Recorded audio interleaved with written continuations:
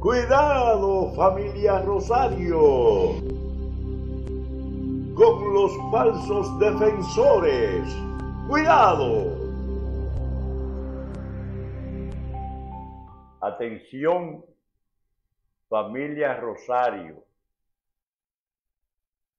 Está bueno ya, o está bueno para decirlo de manera correcta, de que lo sigan cogiendo de pendejo.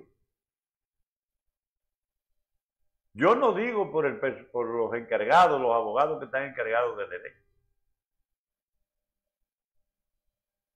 De líderes que se han puesto ellos mismos como líderes en la familia, que inmediatamente sienten un movimiento, salen todos a estafar a la familia.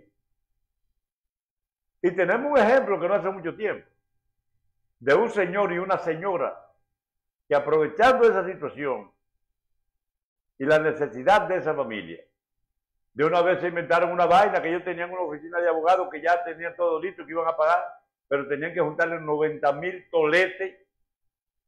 Y de acuerdo a las informaciones, la familia aportó más de 90 mil pesos a estos dos estafadores y quedaron como si nada y parece que la familia no aprende.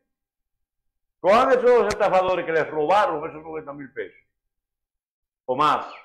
Como ejemplo, ahora hay un grupo de estafadores ya, ya buscando ellos abogados, porque ellos son los que van a pagar. Oigan bien, gente que ni son eh, de los llamados herederos, ni son de la familia. Avivatos que estafan a la familia. Ahí están ya todos en los medios, anunciándole que va, a haber pago, que ya son ellos, pero son, son grupos que se hacen llamar líderes, cada cual por su parte robando, estafando a la familia.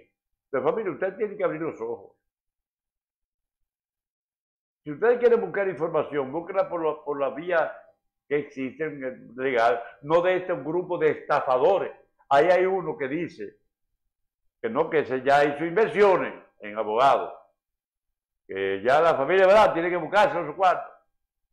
Y dice ser el más inteligente, el dominicano más inteligente, que él gobierna este país sin ni siquiera una computadora es tan inteligente. Sí, pero para estafar. Ya ustedes saben cómo se nombra ese, pero es un grupo. Hay uno de Santiago ahí que vivía rodando con, las drogas y la vaina en, en la acera y ya no, ya tiene dinero porque ha estafado a la familia. Y las familias siguen creyendo en estos estafadores. Si están dando informaciones de algunas acciones que se van a tomar, busquen esas informaciones donde deben buscarlas. No llevarse comenzarse, comenzar a mandarle cuarto a estos estafadores, ladronazos. No se dejen estafar. Todo el que les diga a ustedes que han buscado y que tienen una oficina de abogados en, en Nueva York, que tienen los abogados de Nueva York, que los resuelvan ellos.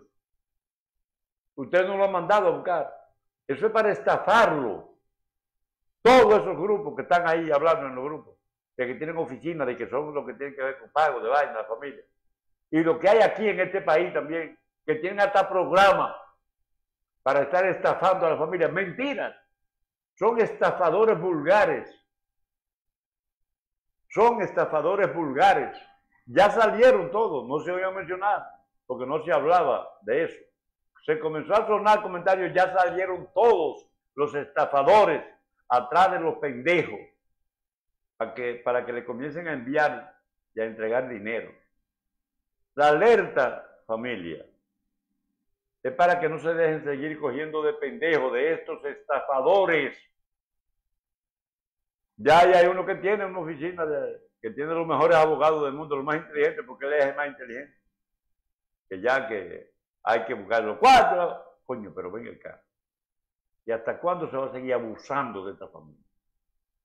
¿Hasta cuándo, familia Rosario, ustedes van a dejar que estos grupos de ladronazos le estén robando como los 90 mil que les robaron?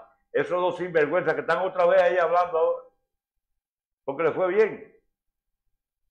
Les robaron más de 90 mil pesos a la familia y todo se quedó así. Y todo se quedó normal. Ya están activos otra vez, a ver si se, si se llevan 90 mil o 100 mil más ahora. No se dejen llevar. Todo eso que están ofreciendo, que tienen abogados, que van. No, eso es mentira, eso no se maneja así.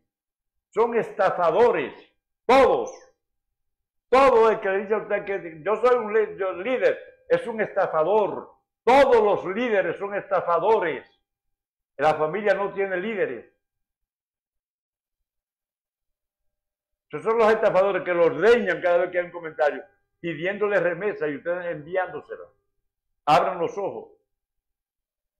Busquen informaciones donde no haya robo, donde no haya malicia.